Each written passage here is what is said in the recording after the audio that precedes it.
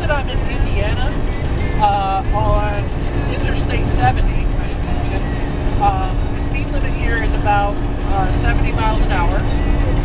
And uh, the last time I rode, by the way, I decided to take the detour where there were no tolls. So, uh, so it's taking me a bit longer to get to Chicago. So, uh, and, with, and that also explains why I'm on I-70 instead of uh, 76. So anyway, uh, on I-70, the speed limit is 70 miles an hour. So, uh, and the last time I drove this route, uh, which was a couple years ago, it was raining cats and dogs, and I mean, it was literally raining so badly that you could not see in front of you uh, because there was so much water on the on the windshield.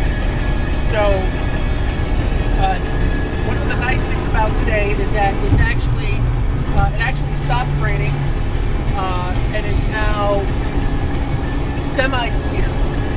So, uh, so now I'm actually getting a chance to enjoy driving this road. Uh, and it's actually pretty nice.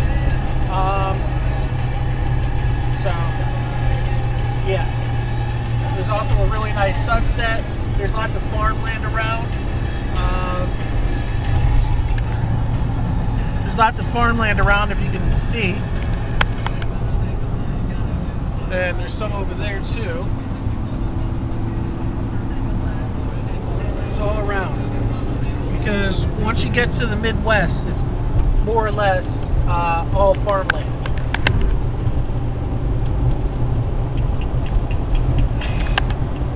It's more or less uh, all farmland once you get to the Midwest. So uh, I expect to get to Chicago probably within the next